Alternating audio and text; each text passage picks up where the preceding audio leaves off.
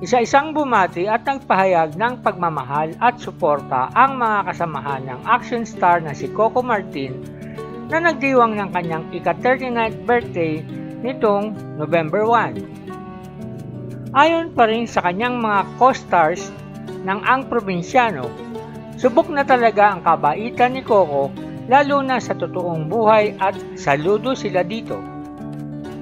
Bumuhos ang pagbati mula sa mga kasamahan niya sa serye ng Ang Probinsyano na ipinos nila sa kanilang social media. Wika ni Angel Aquino, Happy birthday mahal naming Coco. What people don't know is that you're a real life hero. Dagdag pa ni Angel, you've made a big difference in my life. Bati naman ni Shaina Magdayaw, Maligayang kaarawan, mahal kong kaibigang Rodel na siyang tunay na pangalan ni Coco. Nagpasalamat din ang aktres sa alaga at alalay habang nasa set sila ng serye. Hinangaan din ni Shaina si Coco bilang direktor, location manager at talent coordinator pero higit sa lahat ang pagiging mabuting tao at kaibigan nito.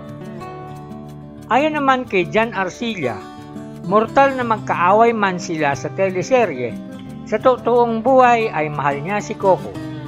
Wish at dasal ni Jan para kay Coco ang good health, happiness at mapayapang paligid.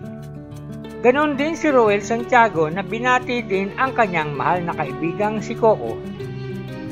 Maraming natulungan si Coco na taga-showbiz din na matagal nang walang trabaho at isinama niya sa kanyang TV show bilang mga special guest.